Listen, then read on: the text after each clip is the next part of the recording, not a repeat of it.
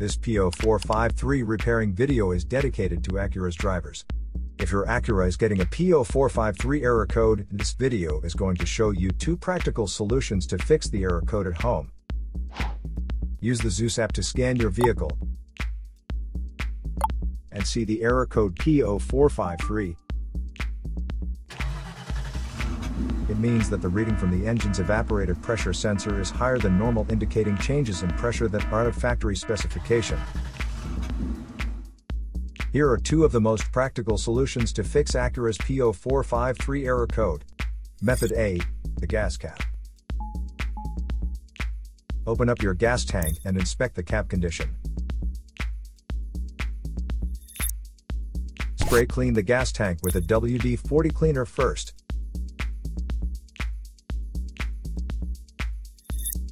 Check to see if the gas cap also gets dirty.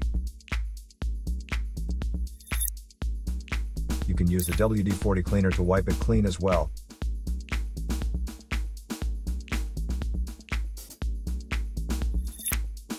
Otherwise, you may replace it with a correct model gas cap.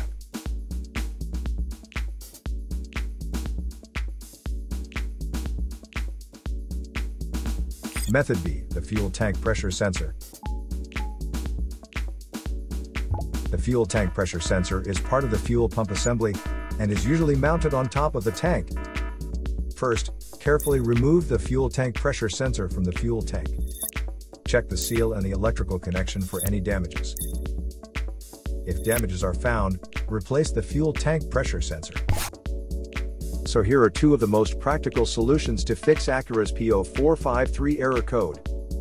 After the repair, you can now use the ZUS app to clear the error code.